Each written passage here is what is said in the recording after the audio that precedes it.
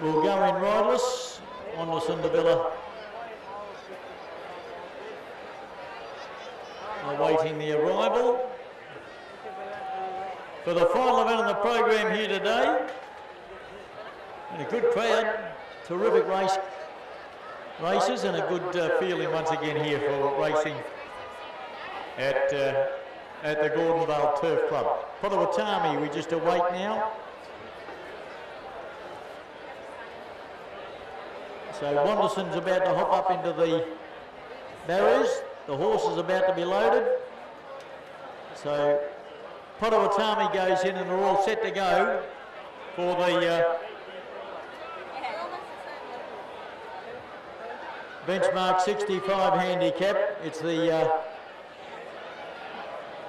racing and they're off in the uh, Magic Millions Cairns Hardware Rob Kosh Memorial Far North Queensland up and coming stayers benchmark 65 handicap including the Roy Marsh Memorial and Coastal Boy is going to lead them down the straight. So Coastal Boy crossed and went to the lead in second placing Clear Rally Love Flies and Pietro Bramio get a lovely run third on the fence. They were followed right behind it by Craig Lee Semo and on the outside of Craig Lee Semo is Potawatomi. So the field go around the uh, side here at the 1400 metre mark and they head up into the open country. Out the back they go. And the leader here is Coastal Boy loping along. At the 1200 into the back straight they'll travel leads by length. Valley goes to second they're not going that hard. They were followed then by Love Fly sitting third. And back last of all is uh, Craig Lee Simon. On its outside is Potawatomi.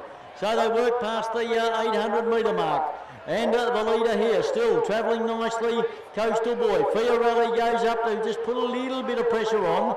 Love Flies has had a beautiful card in it for Romeo. He sits nicely third. And they were followed by Potawatomi. DeVilla's getting anxious. And uh, last of all, still Craigley Simo. Uh, Lacey Morrison is smoking the pipe as they go down the hill. They've got about 440 metres to travel. Coastal Boy just, uh, just uh, increases the pace a little bit now. Love Flies. Romeo goes off the fence. Craigley Semo is following it through. Lacey Morrison as they straighten up and the race is on in earnest. Coastal Boy trying to get the gap between them. Craigley Semo. It closes and going through the lead now is the Love Flies on the outside storming home. Potawatomi. Love Flies now got for the lead. Coastal Boy's kicking back. Coastal Boy. Coastal Boy. Love Flies. Love Flies. Love Flies beat Coastal Boy. What a finish. And Craigly Simo, very unlucky third. And they were followed by Potawatomi and Fiorelli not far away. What a great finish. I think Love Flies might have just beaten Coastal Boy, but by golly, Coastal Boy showed some intestinal fortitude. Great finish to the last. Got a feeling Love Flies might have just got there. But Coastal Boy kept fighting back. It was a gutsy, gutsy performance. Craigley Semo couldn't get between them. Potawatomi was wide but died on its run. We'll await for the result. I think Love Flies might have got there.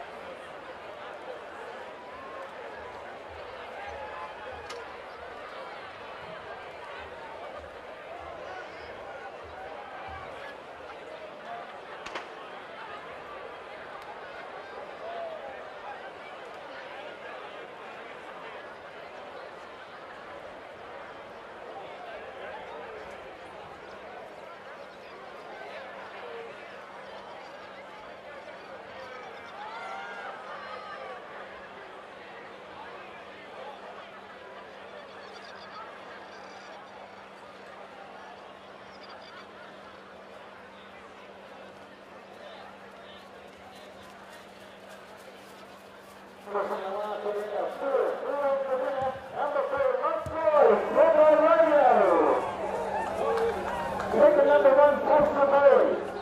Third, number three, Corbin Simo. And imagine the next